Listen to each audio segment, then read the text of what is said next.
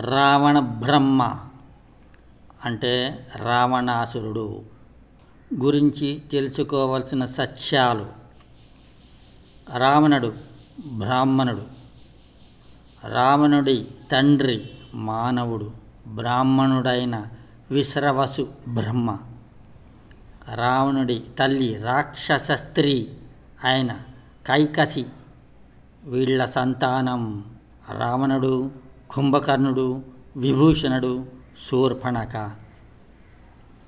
రావణుడు బ్రాహ్మణుడు కానీ అతనిలో రాక్షస లక్షణాలే ఎక్కువ. తన చెల్లెలి ప్రేమ పెళ్ళి నచ్చని రావణుడు. రావణుడి చెల్లెలు శూర్పణక. విద్యుత్ జిహ్వ అనే రాక్షసుణ్ణి ప్రేమించింది.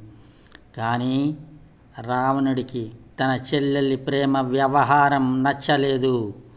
విద్యుత్ జిహ్వ రావణుడిని చంపి లంకకు రాజు కావాలనుకుంటున్నాడు అని రావణుని అనుమానం. కానీ తల్లి కైకసి రావణుడిని ఒప్పిస్తుంది. సొంత చెల్లెలి భర్తను చంపిన రావణుడు. రావణుడు అంగీకరించినట్లు చెప్పిన మనసులో మాత్రం విద్యుత్ జీవను చంపాలనుకుంటున్నాడు.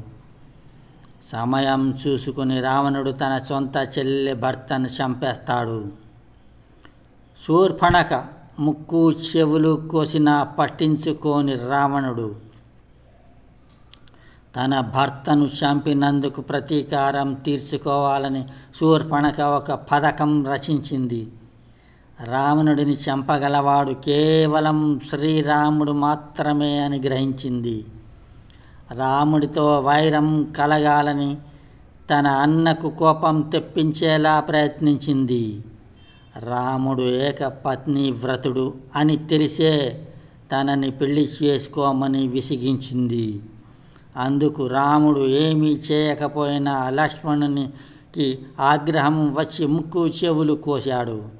వెంటనే రావణుని దగ్గరకు వెళ్ళి లక్ష్మణుడు చేసిన పని చెప్పింది.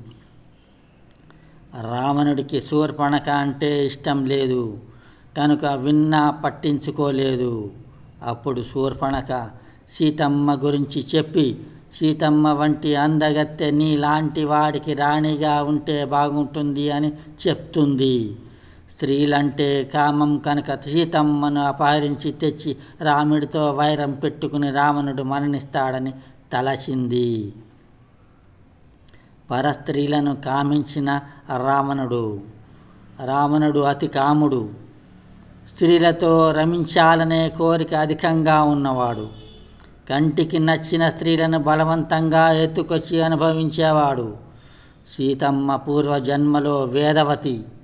ఒకసారి రావణుడు పుష్పక విమానంలో వెళ్తూ వేదవతి తపస్సు చేసుకోవడం చూసి కామించి సమీపిస్తాడు. అప్పుడు వేదవతి యోగాగ్నిలో తనకు తానే దహించుకుపోతూ తన వల్లే రావణుడు మని మరణిస్తాడని శాపం పెడుతుంది. భార్య యొక్క చెల్లెల్ని కామించిన రావణుడు రావణుని భార్య మండోదరి. మండోదరి చెల్లెలు మాయ. మాయను కామించి అనుభవించాలని చూశాడు. అప్పుడు మాయ కూడా స్త్రీ వల్లనే నువ్వు చనిపోతావు అని చెప్పించింది కూతురిని కామించిన రావణుడు. రావణుడికి కుబే కుబేరుడు తమ్ముని వరుస. కుబేరుడి కొడుకు నలది కులే కుబేరుడు. ఒకరోజు నల కుబేరుడి భార్యను చూసి కామించి చెరబట్టబోతుండగా నల కుబేరుడు శపిస్తాడు. ఆ శాపం ప్రకారం రావణుడు ఏ స్త్రీనైనా బలవంతంగా అనుభవించాలని ప్రయత్నిస్తే తల పగిలి చస్తాడు అని. అందుకే సీతమ్మను తాకలేక సీతమ్మతో పాటు అక్కడి మట్టిని కూడా లంకకు తెస్తాడు. లంకలో కూడా సీతమ్మను తాకలేకపోయాడు. చంపుతాను అని బెదిరించేవాడే కానీ అనుభవిస్తాను అని చెప్పలేదు. తన గురించి మాత్రమే ఆలోచించిన రావణుడు రామో విగ్రహ వాన్ ధర్మ అని మారీచుడు చెప్పినా వినలేదు. సీతమ్మను తీసుకురావడం తప్పని తిరిగి రామునితో కలపమని మండోదరి విభీషణుడు కుంభకర్ణుడు ఎంతగా వారించినా వినలేదు. తన వారందరూ చనిపోతున్నా పట్టించుకోలేదు. కేవలం సీతమ్మను పొందాలనే మాత్రమే ఆలోచించి ప్రాణాలు పోగొట్టుకున్నాడు. ఇటువంటి రాముని ఇప్పుడు కొందరు హేతువాదులు నాస్తికులు హిందూ ధర్మానికి వ్యతిరేకులు మేధావులు అని చెప్పుకునేవారు. కీర్తిస్తూ రావణుడిని చరిత్ర తిరగరాసి పూజించాలని అనడం ఎంతవరకు ధర్మం? రావణుణ్ణి ఆదర్శంగా తీసుకోవడం అంటే వావి వరుస లేకుండా కంటికి నచ్చిన వారిని బలవంతం చేయడమా? రావణుడి శక్తి శివభక్తి ఎలా ఉన్నా ధర్మానికి విరుద్ధంగా ప్రవర్తించినందుకు పతనమై పతనమైపోయాడు. తన భక్తి తనానికి కాపాడిందా? తనని కాపాడిందా? అటువంటి భక్తి ఆదర్శనీయమ? రావణుడు నరకాసురుడు కర్ణుడు లాంటి వారిని రోజు రోజుకు కీర్తించే వారు ఎక్కువైపోతున్నారు. మన గ్రంథాలను అందులో ఉన్న దేవుళ్ళను అవమానపరుస్తూ వాటిలో ఉన్న రాక్షసులకు పట్టం కడుతూ వికృత చేష్టలు చేస్తుంటే మనం ఏమీ చేయాలని స్థితిలో ఉన్నాం. ఇందుకు కారణం లేకపోలేదు.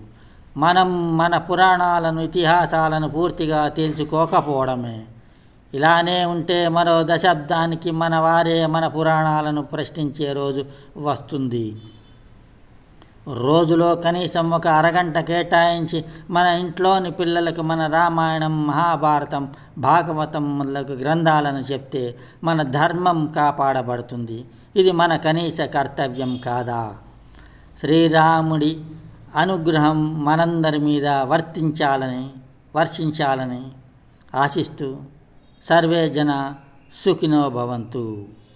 ఇట్లు మంత్రి ప్రేడ మార్కండేయులు హైదరాబాద్. India.